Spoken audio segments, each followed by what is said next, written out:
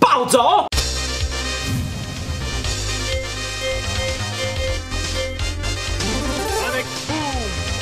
No sir, no sir，我上上我们就要干嘛呢？今天的这个主题哈，我知道有点重复性的太高，但是呢，我真的很想做，而且我也花时间真的去认真研究，但是研究出来的结果的话，又有点不符合我的预期啊，因为呢，毕竟隔天就要发售元素了，我不可能直接把这本书直接拆了分解掉，OK 吗？所以呢，今天这个主题啊，我个人想出了一个折中的方法，非常之简单，但是在那之前呢，我决定先来把我们的所有的剑士集结，来各位，这应该是我们这个频道第一次圣剑全部集结，好不好？哎，你都放一起，还真的是爽啊！然后呢，我们今天的任务啊，非常之简单，在剧中的时候呢，目前为止能暴走只有胜任而已啊，我觉得太不公平了，其他角色都没有出场机会，所以呢，我今天的话要让我们全员暴走，好不好？然后呢，我要先说，其实我是有认真研究要如何改良我们这一本书啊啊，但是呢，改的时候遇到一些小瓶颈，所以呢，我们今天会教大家方法的话，我个人觉得算是简单到不行，而是简单到破不了，简单到有一点蠢的方法，好不好？但是呢，我们就尽量以完全不破坏它的一个本体做一个设计啊。在开始讲这之前呢，我先来跟大家讲解一下，我发现了一些可行的改良方法，但是呢，这改良方法会需要牺牲一些道具啊。OK，那我们现在先稍微讲解一下我们这一次的一个方法，好不好？好，各位在开始玩之前，你们要先知道一个点哦，就是说这两本书，它们这个背部基本上是完全有长度上的差异。大家看一下，我们这样对比最直观嘛，有没有看这边多一小节？这个的话就是我们要解决的一个大问题。我想出两个方法，第一个方法的话，它是比较搞刚，但是可以完美联动，就是说呢。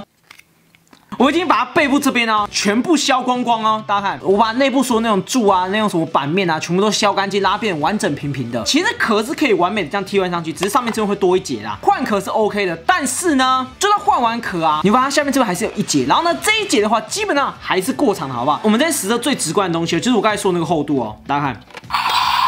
它虽然下半部是可以完全进去，但是上半部还是多了一小节。所以呢，如果你要使用换壳的话，我个人觉得是可行的。但是呢，你上面这边黑色多余上面这一块啊，我们这样装完之后呢，上面这会多一小节嘛？这一小节呢，必须全部切除，不会影响到它结构，也不会影响到它的一个电路板。但是呢，就是很搞刚，而且这本书的话就会变得比较丑一些啦。啊，这个的话，我可能等到之后我收了一本二手，真的实际做一本出来啊。第二个它联动圣剑方法的话，就真的是非常简单，而且非常的蠢，好不好？非常土炮。但是我个人觉得这也算是能保持这本书外外观的一个极好的方法。背部这边必须新增一些海绵块，好吧？我这边的话是有叠海绵块在上面的。这海绵块用意基本上是为了要触发我们书上这些按钮，好不好？因为呢，基本上你放进去的时候呢。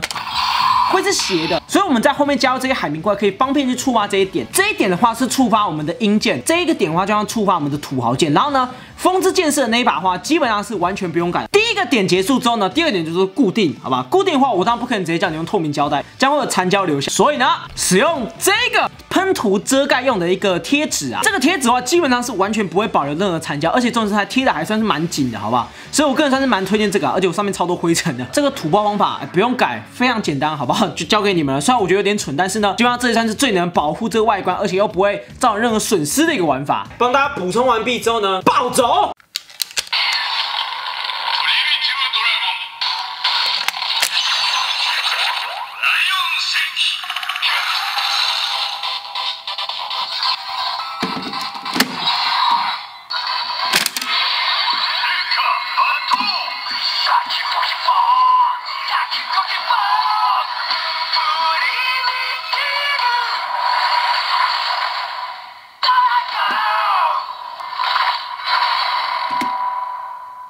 第一个剑士就是我们的水剑暴走形态，OK 吗？基本上跟圣刃是完全没差，老吗？因为呢，它就像所有的音效，基本上都取自于这里嘛，所以呢，它不管是拔出来的音效啊，还是说变成音效，基本上都是跟我们原本的圣刃是一模一样，顶多差这把圣剑而已啦。那我们就换我们下一把。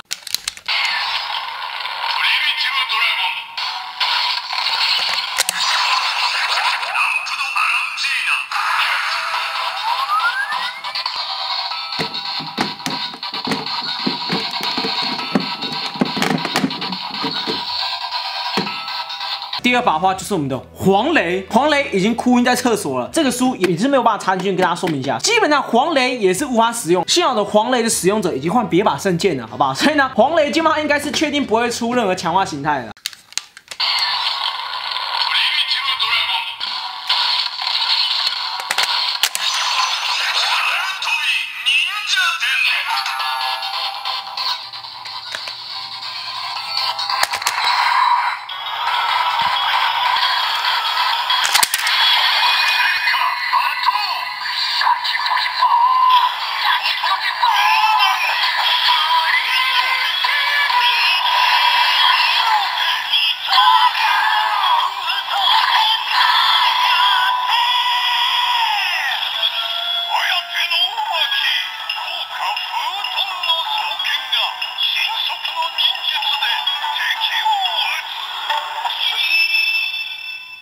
OK，各位，这样就是我们暴走的一个风之剑士啊！哎，我要先说点，这一把再加这个之后呢，重量好重。我现在终于知道为什么官方不会把这个搭配这些圣剑可以做个联动啊！但是我个人觉得这样开说其实还蛮酷的啊，整把剑变超级厚哎。然后呢，这边的话也可以看到一本被古龙掌握的忍者书啊，所以总结来说，我个人觉得这样绑起来还蛮酷的。我们测算第一本之后，来换我们下一本。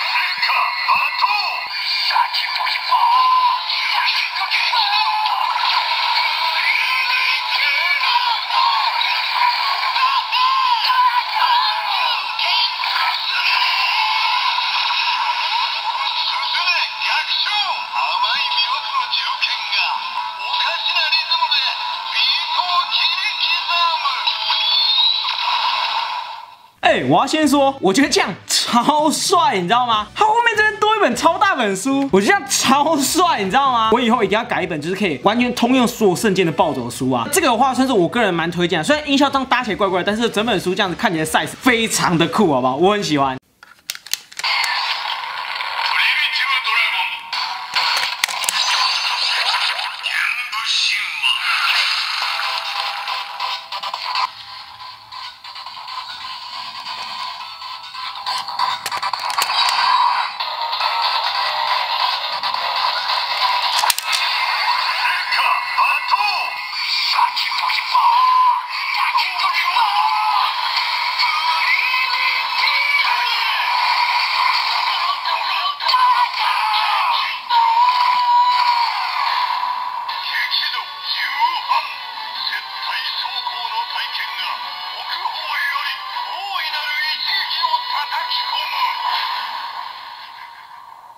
再是我们最大把的一个土豪剑，OK 吗？这一把的比例的话，我个人觉得看起来相对来说很正常，好不好？有一半是聚动这把更大把，这把装上去之后，它会长这样，我也感不重啊啊，但是变得超级重，好不好？我个人觉得我刚才试完三把那种比较特殊型号的圣剑中呢，我个人觉得这不能拆别的剑上面，真的很可惜。我个人觉得违和感都没有很重，而且玩起来算是蛮酷的，好不好？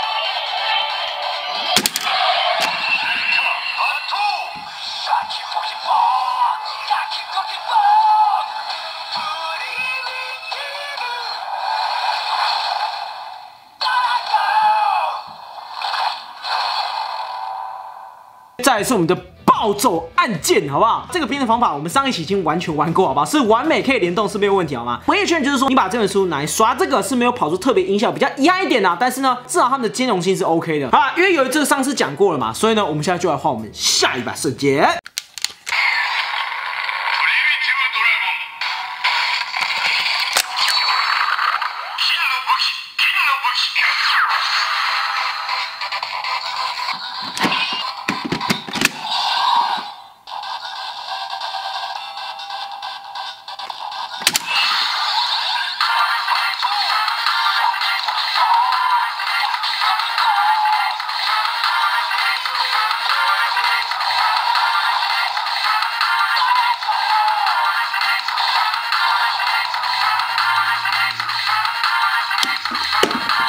个就是我们的醉光，我刚才打的时候呢，它这个会弹起来，像这样，它弹起来那些手才推过去，然后呢，它这边的话就会触发它的一个待机音效。这本书跟这个小本书啊，基本上它们的象性非常的不合，好不好？我刚才稍微打开看一下按键，它里面这个按键啊，基本上它没有办法压太深，所以才导致说像这样，有没有？它是可以联动的，但是呢。它这个会弹起来。总结来讲啊，系统其实最不搭、最会互相干扰就是最光，哎，非常非常之意外啊！而且重要还有一点就是最光不在这上面，有够怪啊！好，各位，以上就是我们这一次全部的圣剑暴走化的一个实测，OK 吗？我个人觉得这三把不能联动，真的是非常一样，好不好？水剑的话，基本上跟我们的火箭是完全一模一样，是没什么差异的。按键部分的话，可以做到完美联动，但是没有特殊音效，比较遗憾一些啦。然后呢，我觉得最遗憾是最光，没想到最光其实里面系统最不适合的一把。但是总结来说，我个人觉得这样搭配完跟以往那种一般变得不太一样。我个人觉得玩起来新鲜感是非常够。我个人是非常推荐大家这样去玩的。未来有机会我应该会再多收一本，把这改成换壳版，可以完美联动这几把剑啊。以上就是我们这一次的一个全胜剑暴走试车。如果喜欢请把的，别忘了每周每周晚下见，拜拜。音键搭起来真的是超级帅，好不好？